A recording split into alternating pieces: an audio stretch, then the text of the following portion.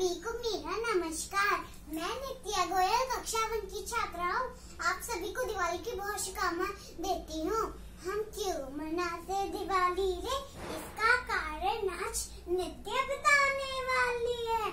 नित्य बिताने वाली है।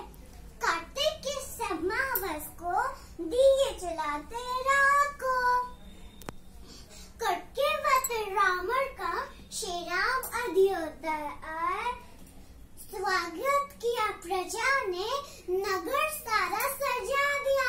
इसलिए कार्तिक के समवस को दिए चलाते रात को। देवासुर संग्राम में समुद्र मंथन हुआ।